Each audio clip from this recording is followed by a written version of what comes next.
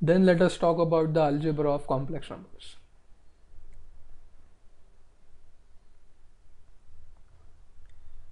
In algebra, we will define the operations on the complex numbers. Okay.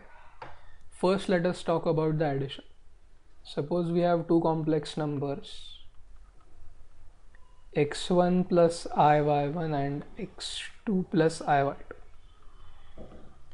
So to add these two complex numbers, we will add their real parts and we will add their imaginary parts. Simple. If we subtract z2 from z1, then we will subtract x2 from x1 and y2 from y1. Remember this sign remains positive. Then let's talk about the product z1 into z2. We multiply the complex numbers the way we do real numbers. So first we will get x1 x2 then let us multiply i y2 by x1 so it will be i times x1 y2 then let us multiply i y1 by x2 so it will be x2 y1 yes and finally we have got i y1 into i y2 we have defined i squared as minus 1 so this will be minus y1 y2 so the product of any two complex numbers is another complex number whose real part is x1 x2 minus y1 y2 and whose imaginary part is x1 y2 plus y1 x2 or x2 y1 now we'll talk about the division. How to divide one complex number by the other complex number now this division is to be performed not in the conventional way. We treat this division problem as a multiplication problem and this is how we do.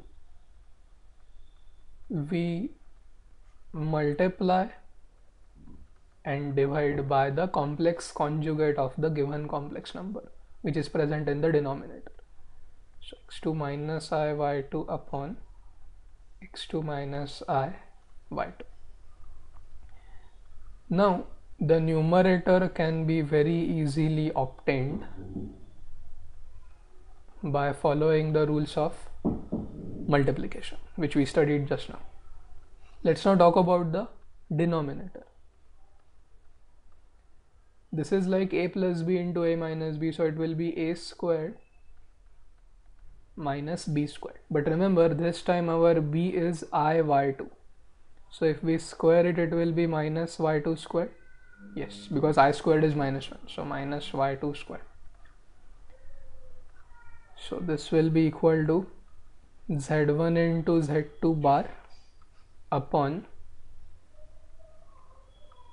x2 squared plus y2 squared which is essentially z1 into z2 bar upon mod of z2 squared okay x2 squared plus y2 squared is square of the modulus of z.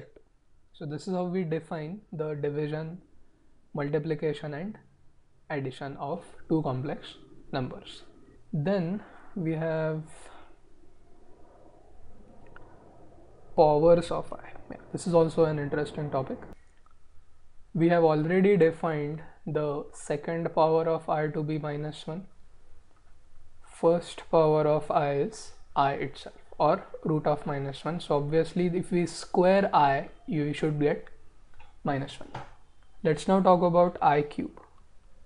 I cube will be i squared into i but how much is i squared minus 1 so i cube is minus i and i raised to 4 will be i squared into i squared which is minus 1 squared because i squared is minus 1 so this will be 1 and all the other powers of i all the other i would say natural powers of i will follow the sequence. So i raised to 4n will always be 1 where n is any natural number.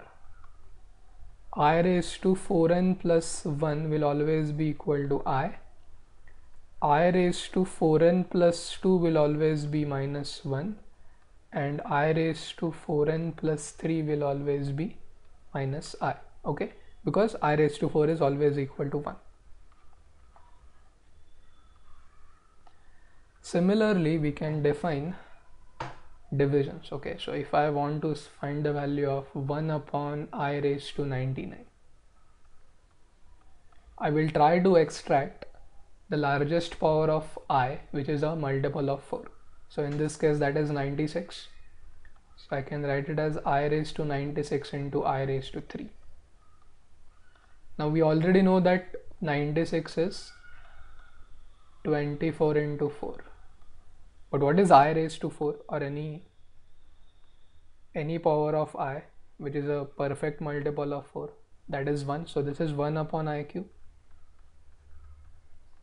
Now you can simplify this by writing 1 as i raised to 4 so 1 upon i raised to 99 is i itself.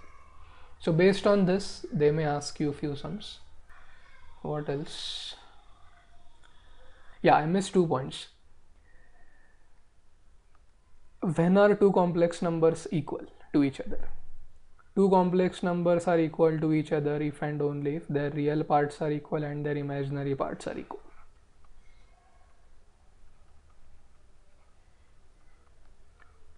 okay. And there is no such thing in complex numbers. X1 plus iy1 is greater than or less than x2 plus iy2 we do not define the ordering pattern in the set of complex numbers okay? Either two complex numbers can be equal or you have to say they are unequal. You cannot say that one complex number is greater than the other complex number okay that is the first point that I had planned to tell you. And the second point is this. You may ask what if x is 0 and y is non-zero in any complex number? If x is 0 and y is non-zero we call such a complex number as purely imaginary number because its real part is 0 okay? And if x is non-zero and y is 0 then it is purely real or sometimes we just say it is real. So when y is 0 we get back our old numbers so to speak. What are they? The real numbers. But the moment you have a non-zero imaginary part you have to jump to the set of complex numbers. Okay? So we have purely imaginary numbers we have real numbers and complex numbers. All of them belong to the set of complex numbers. Okay? So the general representation is x plus i y